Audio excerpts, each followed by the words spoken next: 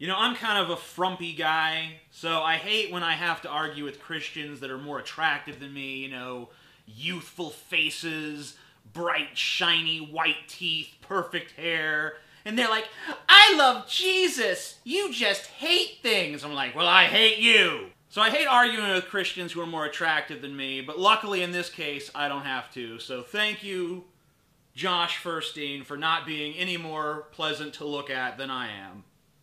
You look like the offspring of Fred Durst and Wheezy Waiter. Hey guys, Josh Feuerstein here. You know, the other day I had an atheist tell me that I was an idiot, moronic, and stupid for believing in God. I love the pronunciation there of believing in God. Just fun to say. Say it yourself. If you're sitting there at your computer, you're looking for something to do, you're bored, just say, believing in God. It's fun to say. Believing in God. Believing in God. Believing in God. See how much fun I'm having? That I was an idiot, moronic, and stupid for believing in God that He created this world because it took way too much faith to believe in a process like that, while he believed in what he called the science of evolution. Well, let's go ahead and let's do this. Dear Mr. Atheist, first of all, let me correct you because evolution is not a science, never has, and never will be. Evolution's not a science. Who are you gonna believe? The scientists who say it is?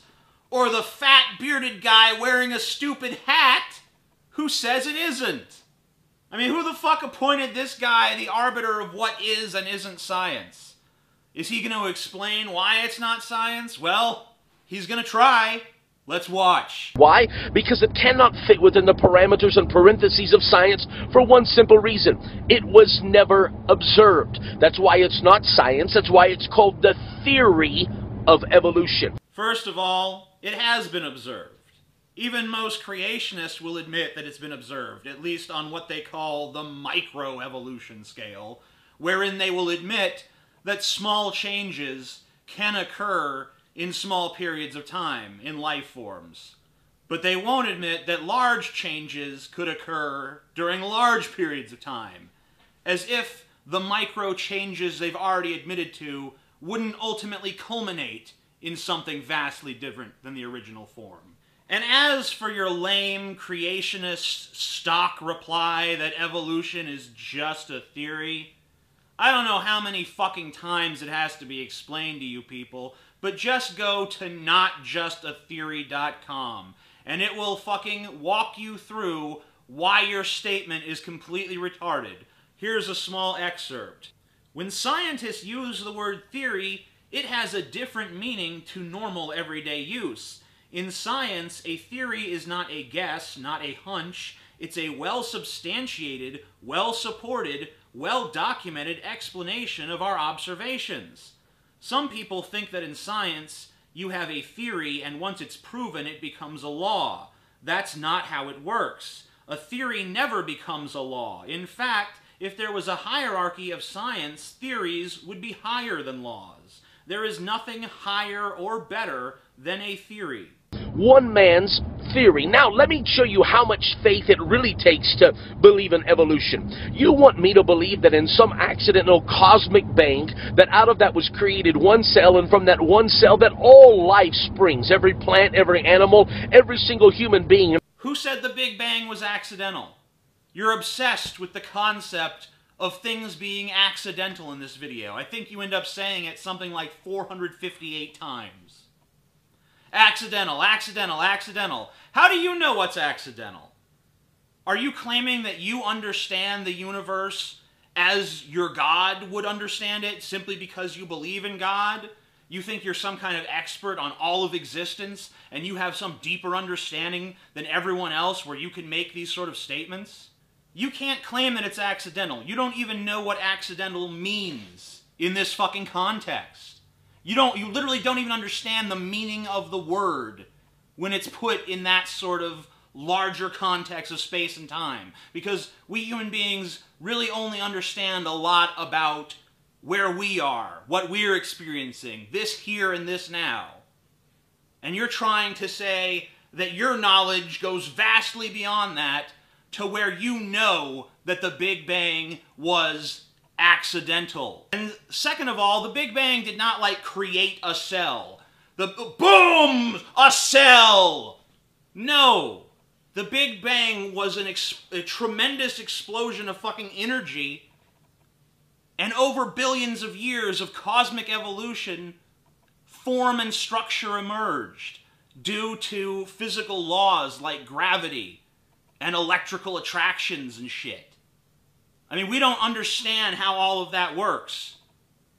But that doesn't mean that you just get to step in and say, hey, because your understanding is incomplete, it must have been my Bronze Age fairy tale that was the answer all along. And third of all, evolution is not even concerned with the origin of life. I mean, it's concerned with it in a larger perspective, like if we understood where life came from, we would have a more thorough understanding of life, and therefore we'd probably understand more about evolution.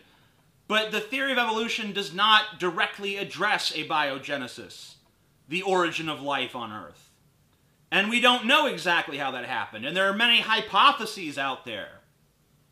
And you can consider your God hypothesis one of many. And it's not one that has a lot of evidence behind it. That's why people like me don't believe in it. Because when we examine it, as we have, because we grew up in a Christian culture, we're pressured to be Christians our entire lives, you don't think we investigate this stuff? We do. And we find it completely lacking. We find the evidence for it non existent. And the only reason that you believe in it is because you don't have the same standard of evidence that we do. Your standard of evidence is does it make me feel good inside? Does it give me a warm, fuzzy feeling deep in my heart? And if it doesn't meet that criteria, you're like, oh, well, fuck that. That can't be the truth. And that somewhere along the way, over years and years, we mysteriously and magically all develop different wills and we all develop different characteristics and traits, all because we willed it in our. I mean, all because we willed it in our heads? Is that what you think the theory of evolution teaches? That all of the different personality traits came from, like, the will of animals? No.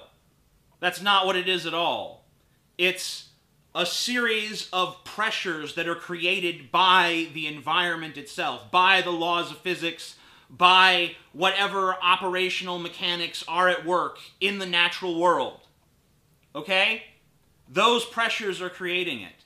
The earliest evolutionary writings by Darwin, Darwin proposed natural selection as the mechanism through which organisms change. It has nothing to do with the will of the organisms. Like, I want to grow a tail now. Wow, now I got this cool tail. That's not how it works. No one is positing that.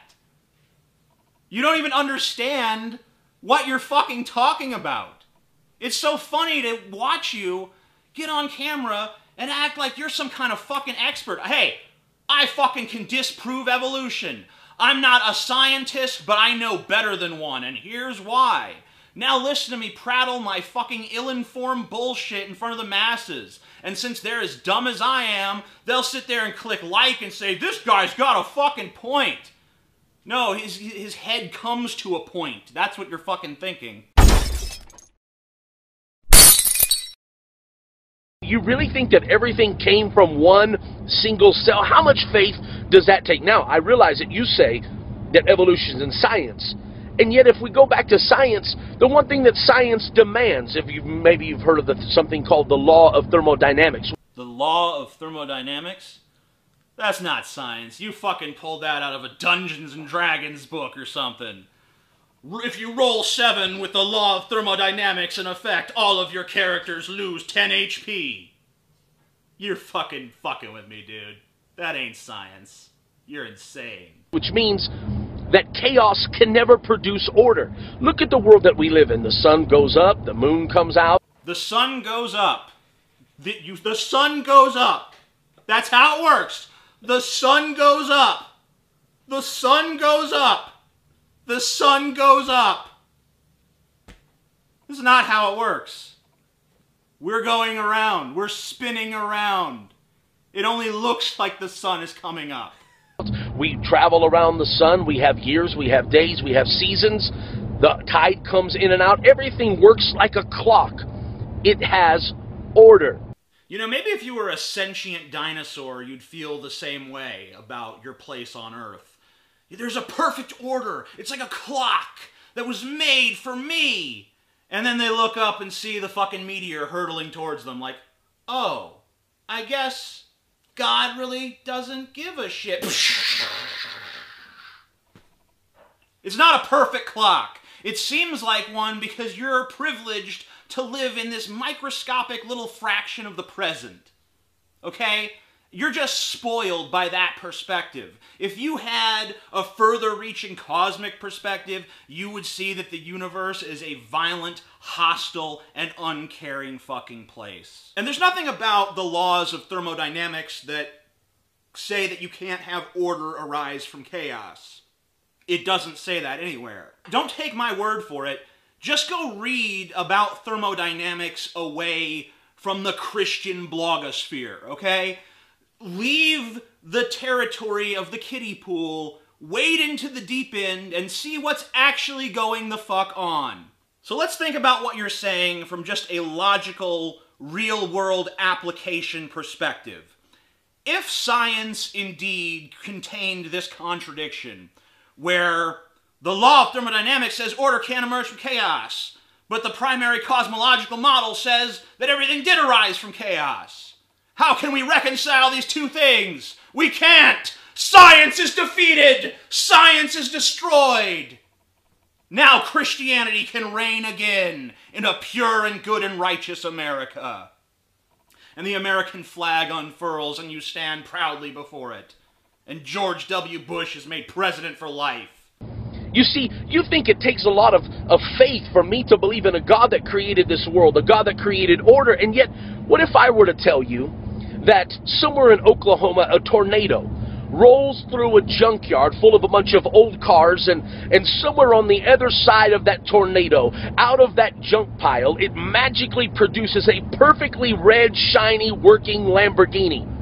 You would tell me I was nuts. You would tell me that I had lost it. You would probably try to admit me into the psychiatric ward. Why? Because that is absolutely stupid. I mean, how much faith would it really take to believe something as idiotic as that?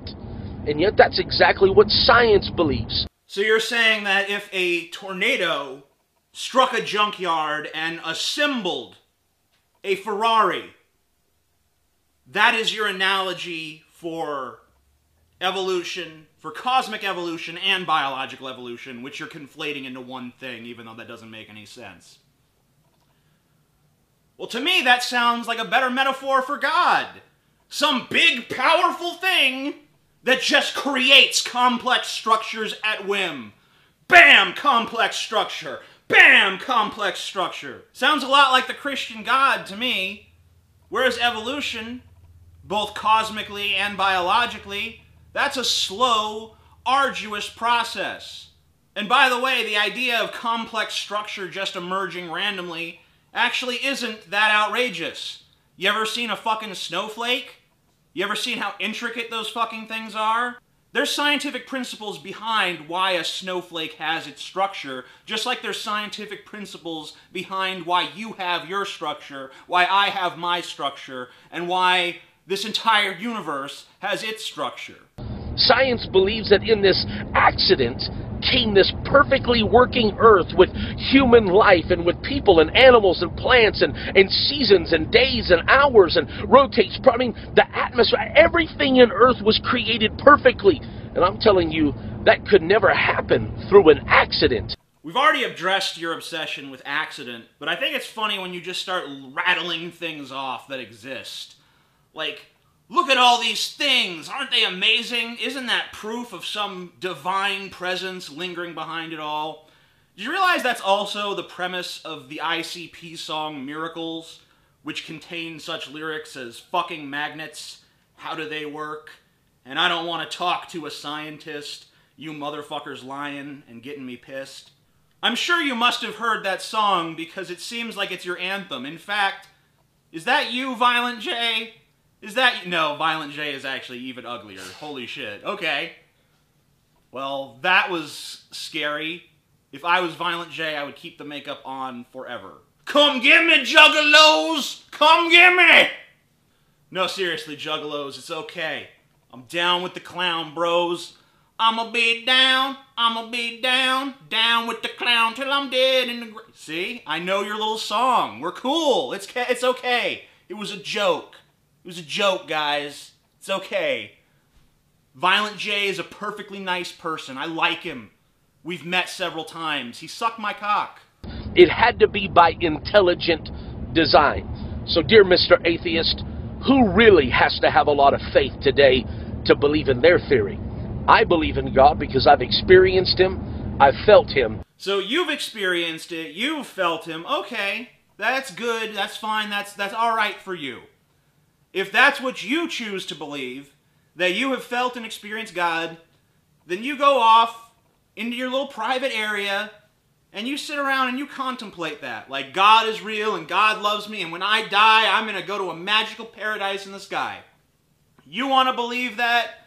Fine. You want to hook up with others who believe that? Fine.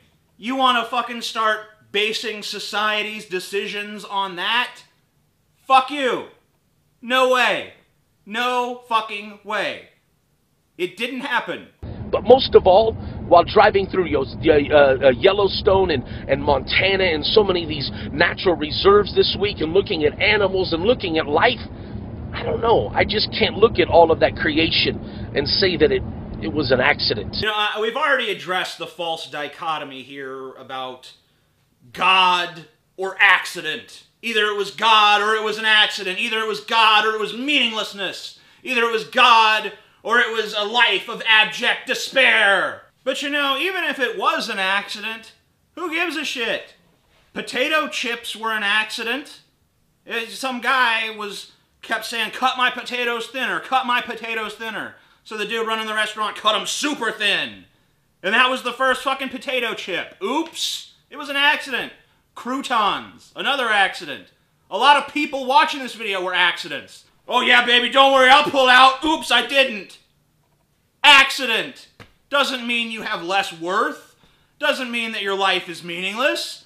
It just means that the circumstances that brought you about were pretty much fucking random.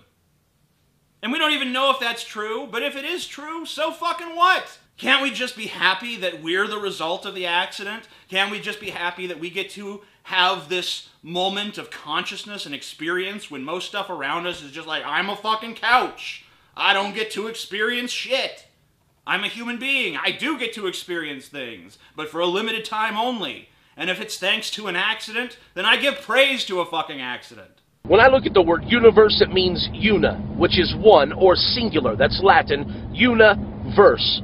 Verse means a spoken statement. So universe is one single spoken statement. I dare you to read Genesis 1. And in the beginning, God said, Let there be. All God had to do was speak one single spoken statement, and boom, the universe. I mean, that's really poetic and all, but I don't think the etymology of the word universe really matters here. I mean, all that would show is that the person who named the universe believed in God. It really doesn't show that God is real. And also, Little caveat to that, that's not the etymology of the word universe. It means combined into one, whole. Uni does mean one. Verse actually was versus, which was turned, as in turned into one. All things contained in one thing. One word to describe the entirety of existence. Universe. Has nothing to do with a scriptural verse or a single spoken sentence. Nice little bit of sophistry, though. Gotta congratulate you on that. Sounds pretty cool when you say it. Too bad it's utter bullshit. I dare you, if you believe in God, if you believe that all of this stuff is nonsense and you have enough faith to stand up and say, I still believe in creationism, I still believe in a God that reigns above all, then I ask you to take a moment and click share. Click share below or on the side of this video. And if you're not my friend already on Facebook, click my name at the top of this video and let's be friends. But guys, it's time for us to stand up, get loud, and get proud. Why do we let evolutionary uh, quote unquote science work its way into middle schools and preschools and colleges and universities around the world. That's nonsense. It takes too much faith to believe that junk. And yet, I say it's time for us to begin to believe in intelligent design, believe in God. As always, like and comment below. I want to hear your thoughts on this. God bless. Have a very, very beautiful day. The sad thing is that you're such a moron that even if some piece of evidence was produced that shows that evolution is true, I mean, there's plenty of pieces of evidence like that already, like the entire fossil record, retroviral DNA, all of modern fucking genetics, blah, blah, blah. You know, if you're not convinced by now, nothing is going to convince you. But even if some piece of evidence was found that was so obvious in its implications that even you had to admit evolution is real, you would just start going around saying, you know, it's amazing how God created evolution. It's amazing how God guided evolution. It's amazing how God uses evolution as a tool of creation. It's all quite obvious if you really think about it because you're just endlessly flexible, endlessly adaptable up in there. It doesn't matter what facts come along to contradict you, you either distort them or you distort your own beliefs to go around them. And it's sickening and it's disgusting that people would watch this video and give it a like. I don't know what sort of brainless morons out there watched this and found anything cogent or worth hanging their hat on.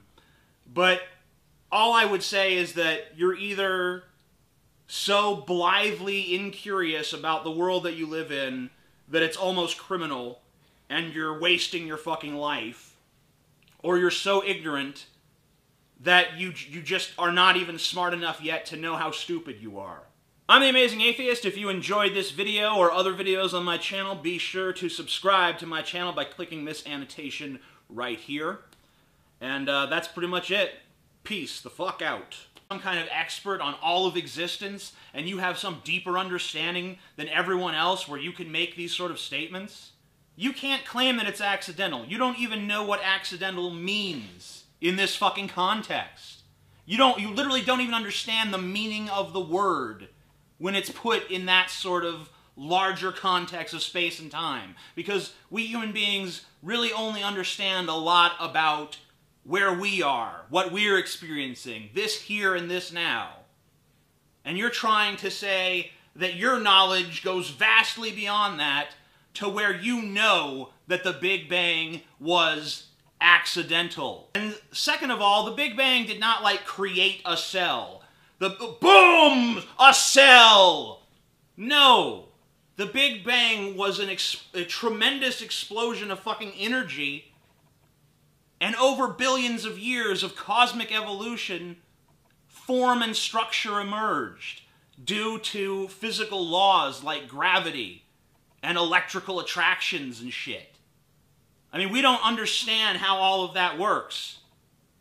But that doesn't mean that you just get to step in and say, hey, because your understanding is incomplete, it must have been my Bronze Age fairy tale that was the answer you know, I'm kind of a frumpy guy, so I hate when I have to argue with Christians that are more attractive than me, you know, youthful faces, bright, shiny, white teeth, perfect hair. And they're like, I love Jesus. You just hate things. I'm like, well, I hate you. So I hate arguing with Christians who are more attractive than me, but luckily in this case, I don't have to. So thank you, Josh Feuerstein, for not being any more pleasant to look at than I am. You look like the offspring of Fred Durst and Wheezy Waiter. Hey guys, Josh Feuerstein here. You know, the other day I had an atheist tell me that I was an idiot, moronic, and stupid for believing in God. I love the pronunciation there of believing in God. Just fun to say. Say it yourself. If you're sitting there at your computer, you're looking for something to do, you're bored, just say, believing in God. It's fun to say. Believing in God. Believing in God. Believing in God. See how much fun I'm having? That I was an idiot, moronic, and stupid for believing in God that He created this world because it took way too much faith to believe in a process like that, while He believed in what He called the science of evolution. Well, let's go ahead and let's do this. Dear Mr. Atheist, first of all, let me correct you because evolution is not a science, never has, and never will be. Evolution's not a science. Who are you going to believe? The scientists who say it is? Or the fat bearded guy wearing a stupid hat who says it isn't? I mean, who the fuck appointed this guy the arbiter of what is and isn't science?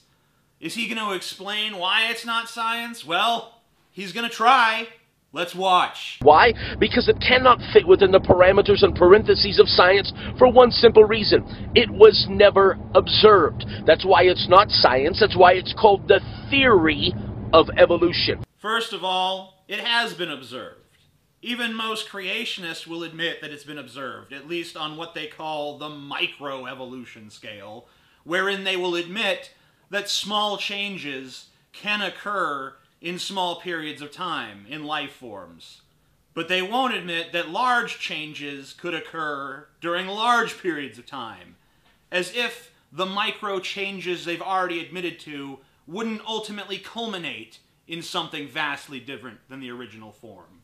And as for your lame creationist stock reply that evolution is just a theory, I don't know how many fucking times it has to be explained to you people, but just go to notjustatheory.com and it will fucking walk you through all along. And third of all, evolution is not even concerned with the origin of life. I mean, it's concerned with it in a larger perspective, like if we understood where life came from, we would have a more thorough understanding of life, and therefore we'd probably understand more about evolution. But the theory of evolution does not directly address abiogenesis, the origin of life on Earth. And we don't know exactly how that happened, and there are many hypotheses out there. And you can consider your God hypothesis one of many. And it's not one that has a lot of evidence behind it. That's why people like me don't believe in it. Because when we examine it, as we have, because we grew up in a Christian culture, we're pressured to be Christians our entire lives. You don't think we investigate this stuff? We do. And we find it completely lacking. We find the evidence for it non existent. And the only reason that you believe in it is because you don't have the same standard of evidence that we do. Your standard of evidence is does it make me feel good inside? Does it give me a warm, fuzzy feeling deep in my heart? And if it doesn't meet that criteria, you're like, oh, well, fuck that. That can't be the truth. And that somewhere along the way, over years and years, why your statement is completely retarded. Here's a small excerpt. When scientists use the word theory, it has a different meaning to normal everyday use. In science, a theory is not a guess, not a hunch. It's a well substantiated, well supported, well documented explanation of our observations. Some people think that in science, you have a theory, and once it's proven, it becomes a law. That's not how it works. A theory never becomes a law. In fact, if there was a hierarchy of science, theories would be higher than laws. There is nothing higher or better than a theory. One man's theory. Now, let me show you how much faith it really takes to believe in evolution. You want me to believe that in some accidental cosmic bang, that out of that was created one cell, and from that one cell that all life springs, every plant, every animal, every single human being. Who said the Big Bang was accidental? You're obsessed with the concept of things being accidental in this video. I think you end up saying it something like 458 times. Accidental, accidental, accidental. How do you know what's accidental? Are you claiming that you understand the universe as your God would understand it simply because you believe in God? You think you're